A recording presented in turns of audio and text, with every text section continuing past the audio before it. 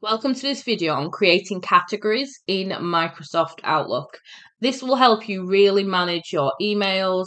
It will allow you to group things together, categorize things as needing action or waiting on information and things like that, or just to help you categorize different things from different projects if you're working across a lot of different pieces of work and they just get lost in a sea.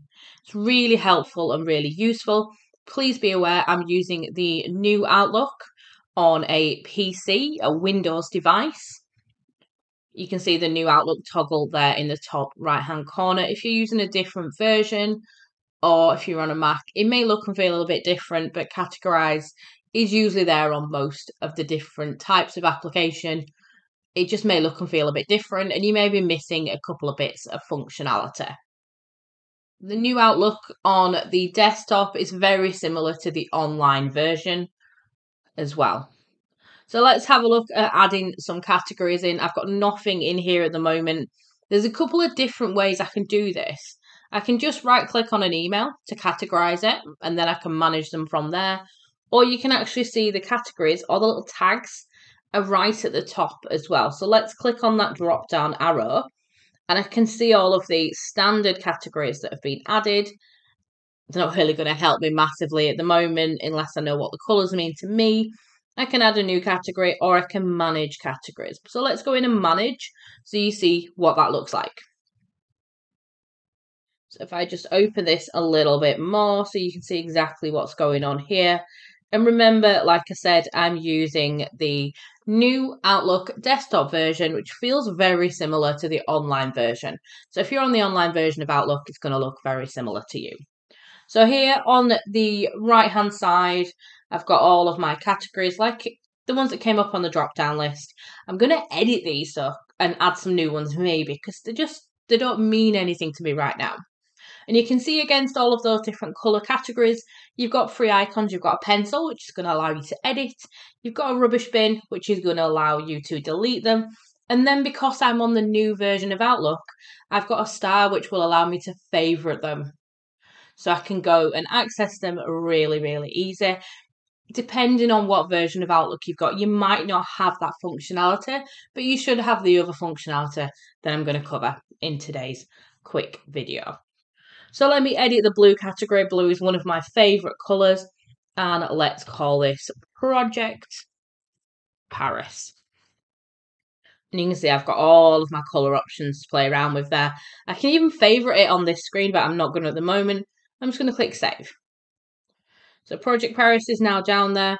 If I want to create a category instead, I can create a brand new one and just put waiting on more let's just say waiting on instead of waiting on more detail. It's a long category to call it. This I can use this if I want to tag something to say I can't action it yet, but I want to, but I'm just waiting on some more detail. So let's put that as a green and click on save. You can see I've got waiting on there. That's a different color. It's actually bolded out. Bolded out. There's a color within the little tag or the little category, so you can see how it will look nice and different for you. Let's also just get rid of some of these by using that little rubbish bin. So you can see here if you have used a category in the past, then it's going to give you a quick warning to say that it's going to remove that category from those emails, but it's not going to delete them. It's just going to remove that category. So it's up to you whether you want to delete it or not. I'm going to click on cancel because I've obviously used that one before. I've used purple as well. So I'll cancel on that one. So there's a few options there for me to play around with, which is quite useful. So I'm going to favourite waiting on. So let's just favourite that one. Click on the little favourite. And then I'm just going to come out. Remember, I don't have to save anything. It automatically saves it. So I'm going to click on the cross. And now you can see I, in the left hand corner, in the favourite section, because I favorited Waiting On, it's there. But the blue one, the one, the Project Paris one, I didn't favourite it. So it's not there, it's not in that section. So favoriting is really useful because you can create new, quick, almost like folders in the top section where you can add specific emails. And you don't need to worry about them being from all different sort of people and different projects and things. You've just categorized them in the way and the group together in that categorization which might be really really useful for you. You can always pull them into folders as well. You can move them around. You can delete them. You can archive them. But they'll still say you can't delete them actually but you can archive them but they'll still stay in that categorization until you take that categorization off. So let's have a look at how to actually categorize our emails. I've got one from Donna Sugarman here. I'm just going to right click on it and I'm going to select categorize. I'm just going to hover over it. Don't even have to click. If I've got a ton of category categories, that's a useful word to get out nice and early in the morning. Then I can do a search or I can just look at my drop down and I'm going to put that in waiting on. So that's now got the category on it, and I can see it there. It's labeled as well. So just remember to label it nice and accurately so you know exactly what's going on. Let's put this more this Viva one into Project Paris. So you can see again the difference there. You can see that one. And if I want to take that categorization off, just right click, categorize, and clear all categories. You can even put multiple ones on there as well, which might be quite useful.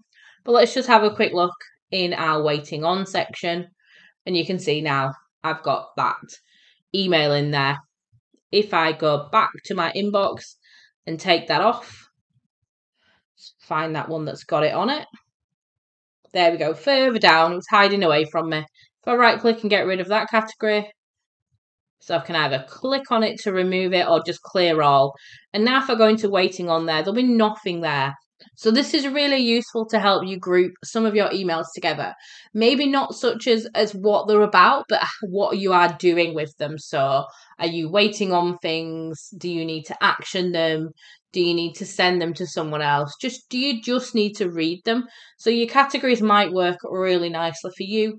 And if you're on a newer version of Outlook or you're on the web version, you may be able to favorite them as well, in which case then you're going to have some nice options in your favorites to just be able to navigate straight to any of those emails that you've categorized so you can help manage them and you can help be much more productive with your emails. So definitely one to play around with and have a go at to see how that works well for you.